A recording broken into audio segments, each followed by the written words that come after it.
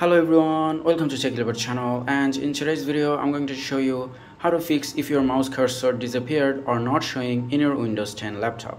Now the first thing you have to do is press the Windows key from your keyboard and then in here type in touchpad and here you can see the touchpad settings is at the top. Now all you need to do is press enter from your keyboard and that will open up the touchpad settings menu. Now as you can see here the touchpad is currently off and which is why it is causing you uh, to lose the mouse pointer or mouse cursor. Now to turn it on all you have to do is just press the spacebar from your keyboard while touchpad on off button is selected. As you can see the uh, rectangle thing around it which means it is selected. Now just press the spacebar and here you can see that now it is turned on and your mouse pointer or the cursor should come back.